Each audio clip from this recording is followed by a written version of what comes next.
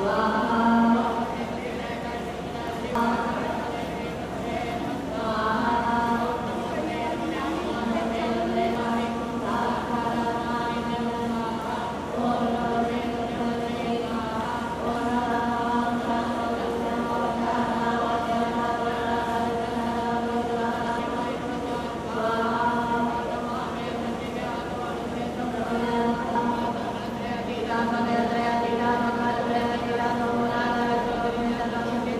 पुरी से कन्याकुमारी वेद पाठी कन्या आई है।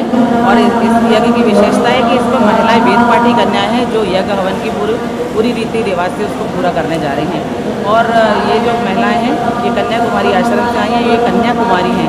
ये शादी नहीं करती परंतु आश्रम में रह के साल भर में सात यज्ञ हवन पूजन करती हैं और इंदौर शहर में ये जो कन्याएँ आई हैं गणेश यज्ञ के लिए आई हैं कल से हवन पूजन यज्ञ चालू है। आज बारह बजे यज्ञ की पूर्णाहुति होगी। ये कन्याएँ पूरे भारतवर्ष में शताब्दी समारोह के अवसर पर जा रही हैं। कहीं कहीं विष्णु या कहीं सूर्य याग कर रही हैं। और जो यज्ञ की जो महत्ता बता रहे हैं यज्ञ की महत्ता ये है कि इसका जो धुआँ उड़ता है वो वातावरण को शुद्ध करता है।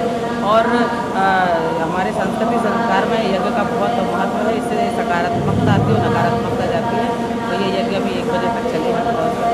ये माने कि यज्ञ मध्य प्रदेश में पहली बार आपके द्वारा ही किया जा रहा है? देखिए, यज्ञ तो बहुत होते हैं और सभी बहुत तरीके से होते हैं, परंतु इस बार इसकी विशेषता ये है मध्य प्रदेश में महिलाएँ आके इंदौर शहर में आके यज्ञ कर रही हैं और कल सभी संतों का इसको सानिध्य प्राप्त हुआ। अन्ना महाराज कंपुत्र बाबा लक्ष्मीदास जी महाराज राधे राधे बाबा सभी यहाँ पर आए थे तरानेगढ़ जी और उन्होंने ये कहा है कि जो इस तरह का जो हवन पूजन हमने देखा है हमने कई कई बार हमने यज्ञ हवन करे हैं परंतु जो हमें इन कन्याओं के मुँह से जो उच्चारण है जो श्लोक है जो संस्कृत की जो जिस तरह से वो वेद पाठ कर, कर रही हैं ये हमने अपने बार देखा है और हम चाहेंगे कि इस आयोजन को बहुत बड़े स्वरूप में और सब मिलें और सभी संतों का यहाँ पर कल साहित्य प्राप्त हुआ